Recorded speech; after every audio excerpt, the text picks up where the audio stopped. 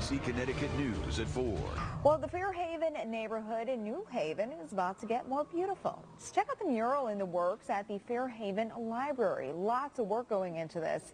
It's the state's first ever Peace Wall mural. It's backed by CITYarts, a nonprofit dedicated to creating these murals around the world. Professional artists and students alike are working to bring this vibrant mural to life. The expressions of peace ideas and coming together, the unity of people, the unity of young and old that help each other to survive. Not just to survive, but to thrive. And the mural's location on Grand Avenue was chosen by the people of New Haven.